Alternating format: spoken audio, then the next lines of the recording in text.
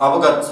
अर्थात् हजुर हामीले दसैँको समयमा होस् अर्थात् दीपावलीको समयमा होस् अथवा हामीहरूले नयाँ घर प्रवेश गर्ने समयमा होस् अथवा कुनै माङ्गलिक कार्य गर्ने समयमा होस् अथवा कसैको यात्रा हुँदैछ त्यो समयमा अर्थात् केही पनि महत्त्वपूर्ण काम यदि हामीले गर्दैछौँ भने त्यसमा हामीले एउटा चिन्हको प्रयोग गर्दछौँ। त्यो हो स्वस्तिक।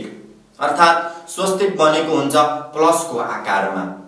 जसको प्लस बनेर माथिपट्टि गएको हुन्छ यतापट्टि तलपट्टि झरेको हुन्छ यता साइडमा गएको हुन्छ। र यसमा दुई प्रकारले स्वस्तिक बन्दछन्। एउटा सुल्टो स्वस्तिक हुन्छ एउटा उल्टो स्वस्तिक हुन्छ। अर्थात् कसैले उल्टो स्वस्तिक पनि बनाउनुहुन्छ तर स्वस्तिक भनेको सधैँ दाहिने हातपट्टि नै। त्यो माथिको जुन डन्डी त्यो जुन धर्को हुन्छ त्यसको माथिको भाग जहिले पनि दाहिनेपट्टि नै रहेको हुन्छ। तर यस्तो हाम्रो हिन्दूहरूको के चाहिँ छ त स्वस्तिकको महत्त्व? स्वस्तिकले के कस्तो काम गर्दछ त? अर्थात् स्वस्तिकको अर्थ नै हामीले बुझ्नु जरुरी छ। अर्थात् सु भनेको शुभ। हामीले सधैँ सुको अर्थ शुभ मान्दछौँ। किनकि शुभ लाभ पनि हामीले देख्ने गरेका छौँ र सु भनेको शुभ भयो र अस्ति भनेको हुन्छ। अर्थात् के भयो? सु अस्ति भनेको शुभ हुनेछ र स्वस्तिको अर्थ भयो शुभ हुनेछ। र हामीले कुनै पनि महत्त्वपूर्ण काम गर्दाखेरि स्वस्तिक बनाउने चलन छ। यसरी नै स्वस्तिकको निरुक्ति के छ भने स्वस्तिक क्षेम कायति इति स्वस्तिक। अर्थात् त्यो स्वस्तिकले जसको कल्याण गर्दछ जसको कुशल गर्दछ त्यो नै स्वस्तिक हो। र यसलाई हामीले अमर कोषमा पनि भेट्न सक्दछौँ। अमर कोषमा पनि स्वस्तिकको अर्थ शुभ नै मानिएको छ। र हाम्रो केवल यो स्वस्तिक फेरि हिन्दू धर्ममा मात्रै सीमित छैन। यो स्वस्तिक भनेको हामीले हिटलरको जीवनी हजुरहरूले कतिको पढ्नु भएको छ किनकि हिटलरले पनि स्वस्तिक बनाएका थिए। तर उनले उल्टो स्वस्तिक बनाएको थिए। उनले सबै देशलाई नै जित्ने अवस्थामा पुगिसकेका अत्यन्त शक्तिशाली थिए तर उल्टो स्वस्तिक बनाउने कारणले गर्दा उनले हार्नु पर्यो अथवा उसको चाहिँ नाश भयो भन्ने कुराहरू हामीले लगभग देख्न सक्दछौँ। अझ बौद्ध धर्महरूले पनि स्वस्तिकको चिन्ह बनाउने गर्नुहुन्छ। कहिलेकाहीँ हजुरहरू बौद्ध भगवान्को दर्शन गर्न जानुहुन्छ बुद्ध भगवान्को दर्शन गर्न जानुहुन्छ भने भगवान् बुद्धको छातीमा स्वस्तिकका चिन्हहरू पनि हामीले देख्न सक्दछौँ र बौद्धिस्टहरूले भाग्यको प्रतीक मानेका छन् स्वस्तिकको लागि। यसरी नै जैन धर्मावलम्बीहरूले पनि स्वस्तिकको सबैभन्दा धेरै प्रयोग गर्नुहुन्छ। र जैन धर्मावलम्बीहरूले के मान्नुहुन्छ? यसलाई शुभताको प्रतीक मान्नुहुन्छ भाग्यको प्रतीक मान्नुहुन्छ र स्वस्तिकको महत्त्व अत्यन्त धेरै छ। प्राचीन कालदेखि नै स्वस्तिक हामीले अभिलेखहरूमा पनि देख्न सक्दछौँ। महाभारतमा पनि स्वस्तिकका कुराहरू आउँदछन् र पुराणहरूले पनि स्वस्तिकको अत्यन्त धेरै व्याख्या गरेको हामीहरूले पाउँदछौँ। र के भनिएको छ भने स्वस्तिक बनाउँदाखेरि जुन प्लसको चिन्ह बनाइन्छ प्लसको चिन्ह पश्चात यता साइडमा साइडमा गएका चिन्हहरू छन् त्यसलाई ऋग्वेदले सूर्यको प्रतीक मानेको छ। अर्थात् स्वस्तिक सूर्यको प्रतीक हो र स्वस्तिकलाई पूजा गर्नाले भगवान् सूर्य नारायणलाई पूजा गरे समान फल मिल्दछ। अरू अरू पुराणहरूले के मानेका छन् भने जुन स्वस्तिका ती चारवटा शाखाहरू छन् ती भनेका चारवटा वेदहरू हुन्।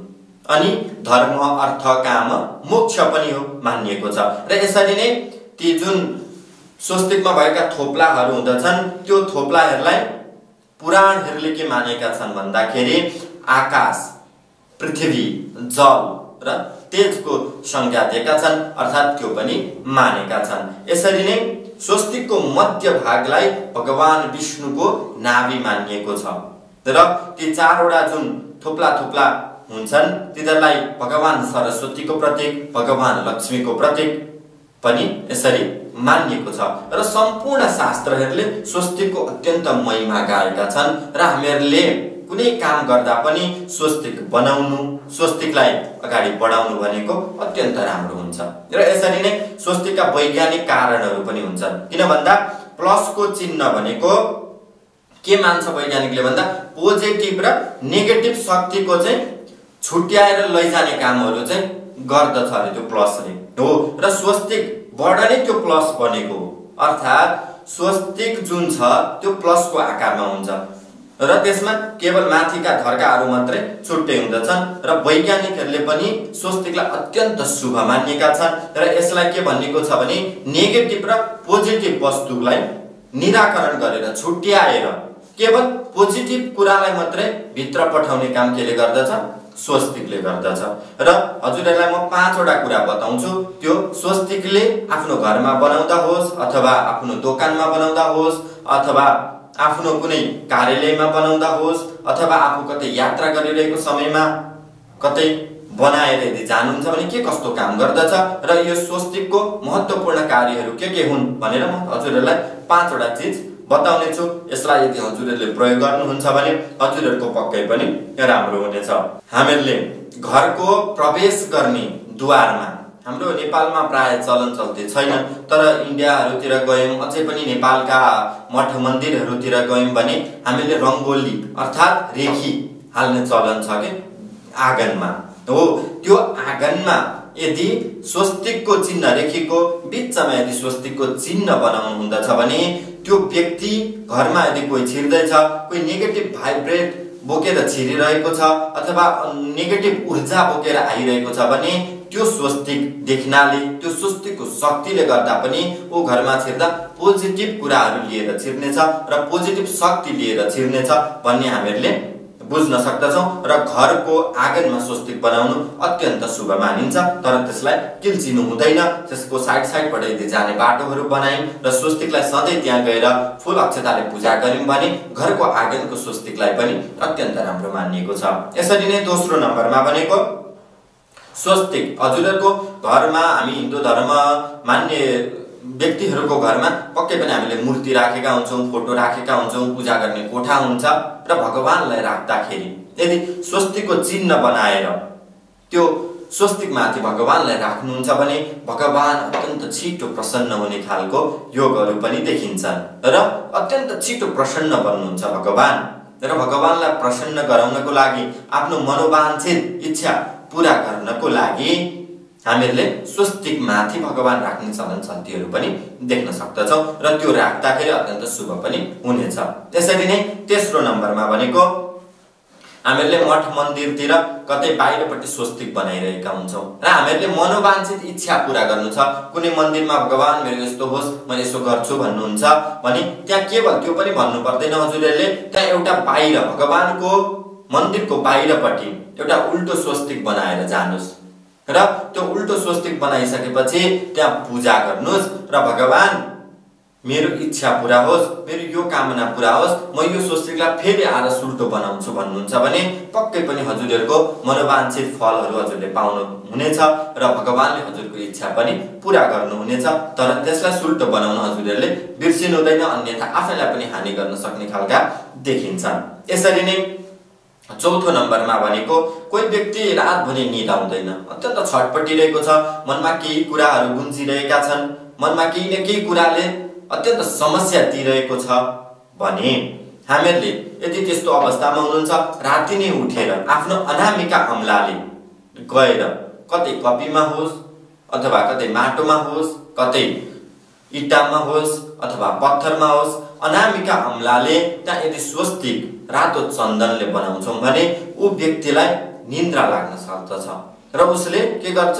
आफ्नो अत्यन्त आनन्दले सुत्न सक्दछ उसको निन्द्रा पुग्न थाल्दछ र मनमा जति कुराहरू आउँछन् ती सबै समाप्त हुँदै जाँदछन्। यसरी नै पाँचौँ नम्बरमा भनेको हजुरहरूको छोरा नाति कसैले पनि पढिराख्नु भएको छैन। हजुरहरूले गर्दै गरेको कामहरू बनिरहेका छैन अथवा जति प्रयास गरे पनि अन्तिम अवस्थामा आएर कामहरू बिग्रिन्छन्। र कतै यात्रा गर्ने विचार बनाइराख्नु भएको छ कतै मठ मन्दिर घुम्ने विचार बनाइराख्नु भएको छ तर जति प्रयास गरे पनि कुनै न कुनै समस्याहरूले सताइरहेका छन् भने सातवटा बिहिबारसम्म हजुरहरूले आफ्नो घरको उत्तर र पूर्वको कुना अर्थात् ईशान कोणमा गङ्गा जल छर्किएर त्यहाँ स्वस्तिकको चिन्ह यदि चन्दनले बनाउनुहुन्छ र सातवटा विवाह अनिवार्य रूपमा बनाउनुहुन्छ भने हजुरहरूका रोकिएका कामहरू पनि पुरा हुन्छन्। हजुरलाई स्वस्तिकले अत्यन्त मन प्रसन्न पनि राख्नेछ बन्दै नबनेका कामहरू पनि बन्नेछन् र मन अत्यन्त प्रसन्न हुनेछ। र स्वस्तिक यदि केवल पाँचवटा कुरामा मात्रै शुभ छैन सम्पूर्ण कुरामा शुभ मानिन्छ स्वस्तिकलाई। र हामीले कहिलेकाहीँ हाम्रो भाग्य देखाउने भनेको जन्म कुण्डली हो जन्म कुण्डलाको माथि पनि स्वस्तिकको चिन्हहरू बनाइएका हुन्छन्। र स्वस्तिक आफैमा अत्यन्त अद्भुत शक्ति भएको एउटा वस्तु हो। र यसलाई हामीले प्रयोग गऱ्यौँ। आफूले कुनै शुभ कार्य गर्नुभन्दा अगाडि प्रयोग गऱ्यौँ भने पक्कै पनि हजुरहरूको राम्रो हुनेछ। र यी मैले पाँचवटा कुरा मात्रै हजुरहरूलाई बताएँ। र अरू पनि धेरै फाइदाहरू छन् स्वस्तिकका। स्वस्तिकलाई पहिलो सुरु चाहिँ बनाउन सिक्नुपर्दछ उल्टो कहिले पनि बनाउनु हुँदैन। यदि उल्टो बनाउनुहुन्छ भने आफैलाई हानि गर्ने आफैलाई नोक्सानी गर्ने खालका योगहरू पनि बन्दछन् र केही समस्याहरू पनि आउन सक्दछन्।